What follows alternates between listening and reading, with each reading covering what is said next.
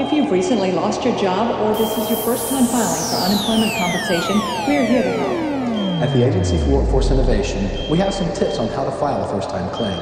Before you start, it's a good idea to get organized. You'll need to have a pen and paper handy to write down important information and instructions. You'll need to have all of the following information. Basic information like your name, birth date, full address, including the zip code and county, and your social security number or alien registration number. You'll need your employment history for the last year and a half, including employers' names and addresses, dates you worked there, and your exact last day of work.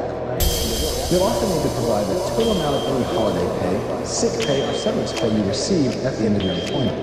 If you receive a pension from any employer, jot down the date you began receiving that pension and the amount you receive each month. Did you serve in the military or work for the?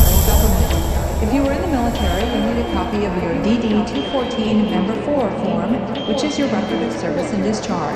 If you are a civilian federal employee, you'll need your SF-8. This form provides the address of the payroll office from which our agency can request wage and separation information. You may also need an SF-50 form, which tells our agency where your duty station was.